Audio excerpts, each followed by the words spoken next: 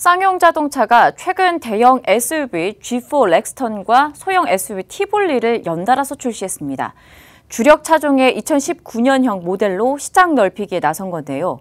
특히 TV 광고와 SNS를 통해서 젊은 마케팅으로 SUV의 최강자 자리를 지키겠다는 포부입니다. 정세미 기자가 전합니다.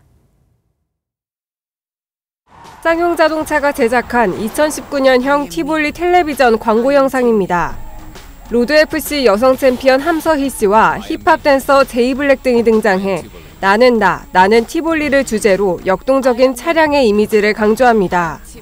뿐만 아니라 SNS 채널을 통한 티볼리 출시 기념 이벤트 쌍용 스타그램도 도입됐습니다.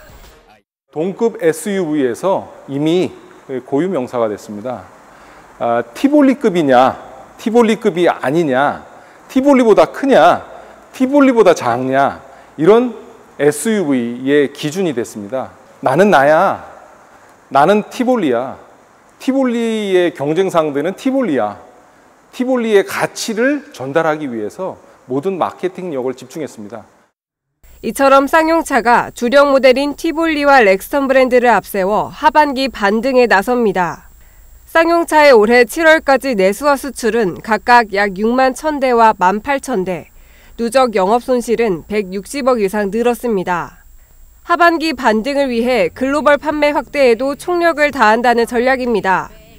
이에 따라 렉선 스포츠는 이번 달부터 칠레와 에콰도르 등 중남미 지역에서 G4 렉스턴은 연말부터 인도 시장 판매가 시작됩니다.